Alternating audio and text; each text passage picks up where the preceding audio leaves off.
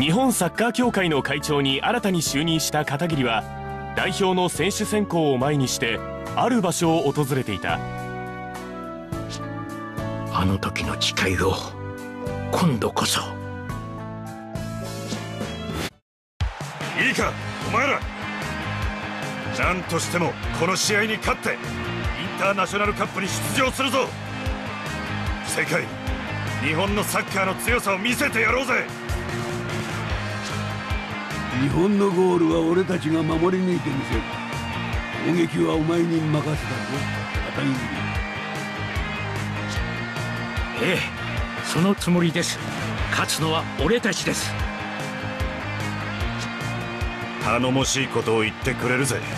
それでこそ日本のストライカーだ。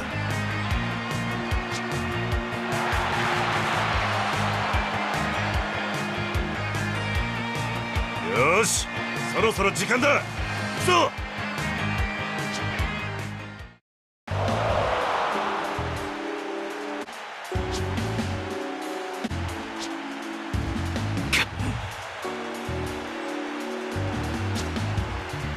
片桐下を向いてる時間はねえぞ。まだたったの1点だ。気にするな。ははい。そうだ。下を向いている時間はない。世界で戦うためにも俺が点を取らなければ。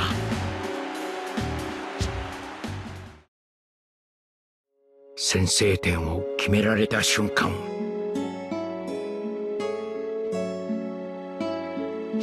無意識のうちに世界の壁の高さを感じていたんだろうな。片桐お前もここに来ていたのか？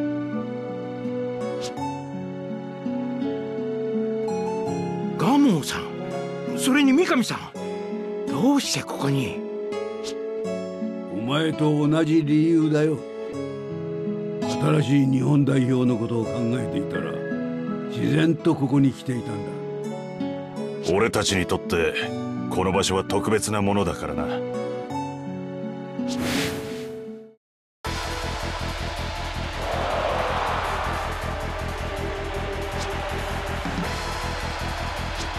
なぜだ？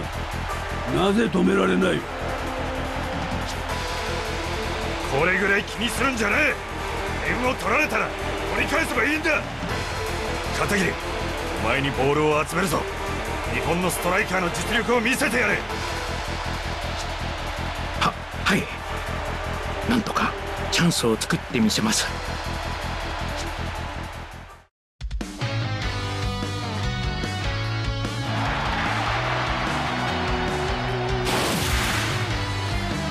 たちを舐めるんじゃねえ。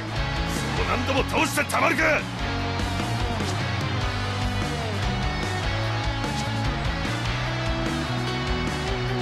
片桐負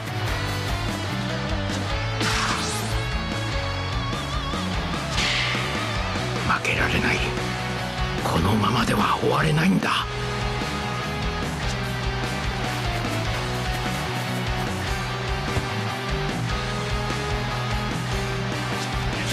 片桐今ならノーマークだ。シュートだけは必ず決めてみせる。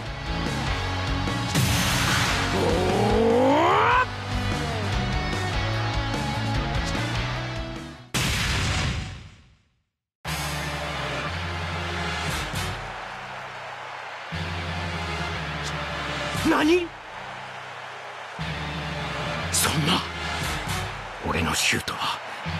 界に通用しないのか？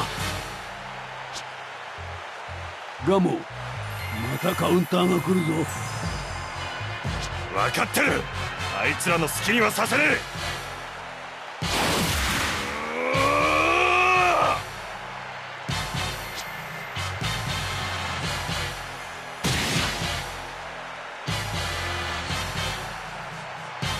しまった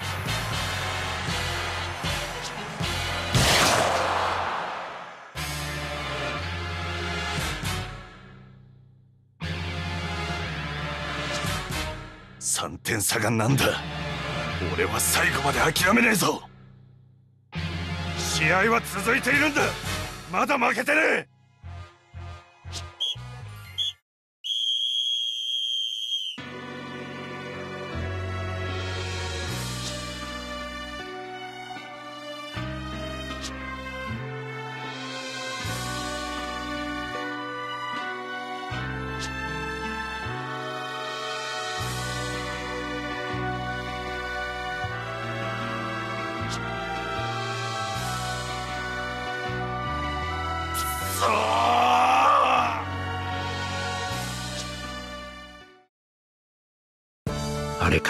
よくここに集まって日本サッカーの今後について話しましたね。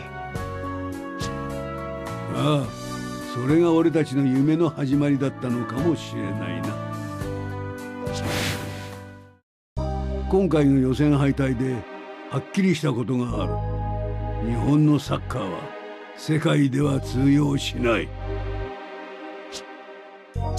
う。もう少しだったんだ世界との差はそんなに大きくはね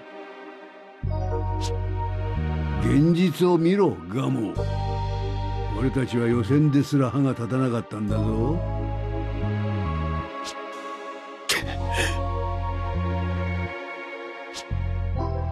ガモンさん受け入れましょう。俺たちは負けたんです。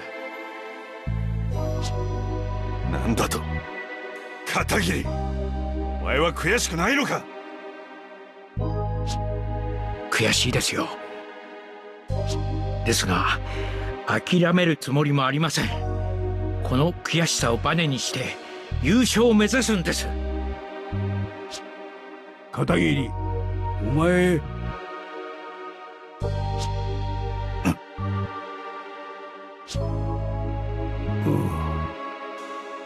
ガモああ。分かってる。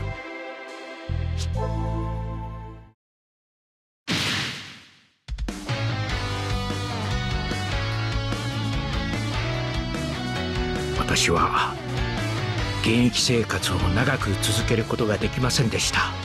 ですがあの時の情熱は今も持ち続けています。しかしこの情熱や思いは私たちだけのものではありません。翼たちにも受け継がれているからな。あいつらは俺たちの夢みたいなもんだ。ええ。彼らをサポートし世界一へ導く。それが今の私たちにできることです。おう。あいつらが最高の状態で戦えるようにしてやらないとなそうだな。翼たちの力を信じよう。彼らなら俺たちに成し得なかったことができるはずガモさん三上さんやりましょう。